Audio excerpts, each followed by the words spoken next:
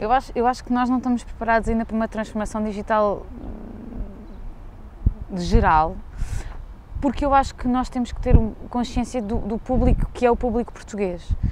Todos nós que somos geeks do digital e que percebemos alguma coisa disto, nós somos uma, uma franja muito pequena. A, a, a, maior parte da população portuguesa continua a gostar de programas que sempre existiram. Há uma razão, eu acho que é bastante simples, uh, para as pessoas gostarem dos reality shows. Porquê que os reality shows estão sempre, têm sempre muitas audiências? Porque a maior parte das pessoas que não vivem nas grandes cidades, que não têm acesso a, a grandes momentos culturais, que não têm acesso, se calhar, a muitas peças de teatro, a muitos concertos, a, uma série de, de, de elementos que nós nas grandes cidades temos, precisam de se entreter.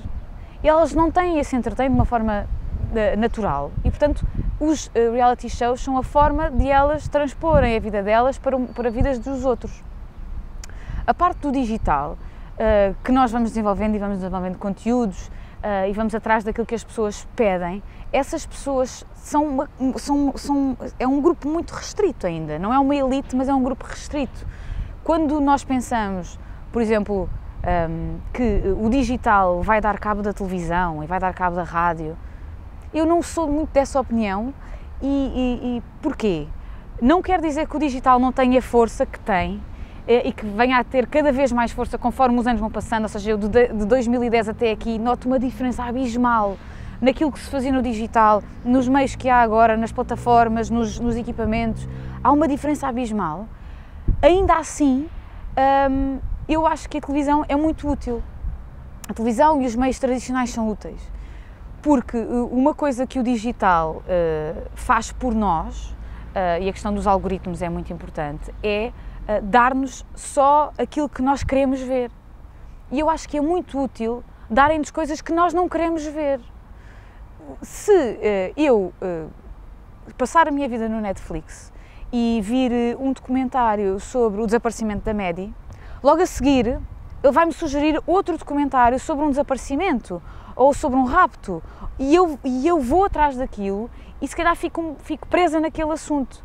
E eu acho que o que os meios tradicionais nos dão, a televisão generalista, eh, nomeadamente, e, e, e a rádio, é darem-nos coisas que nós não estamos à espera. É preciso que isso exista, o infotainment que as televisões generalistas às vezes nos dão, é necessário que exista, porque senão nós começamos a ter uma visão muito afunilada do mundo. E, e eu acho que o digital tem as melhores intenções, mas o digital também é um negócio.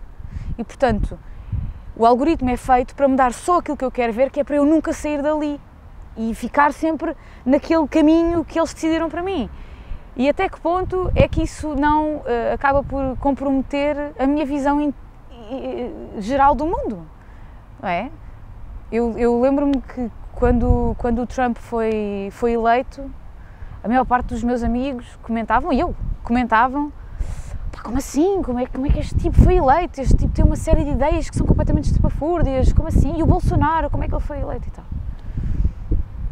Nós só comentamos isto porque no meu feed e no feed dos meus amigos só havia pessoas anti-Bolsonaro e anti-Trump.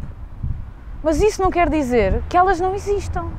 Elas só não estão lá porque o algoritmo do meu Facebook ou das minhas redes sociais ou do que seja me, me inclina para ali. E tudo o que existe é tudo aquilo em que eu acredito.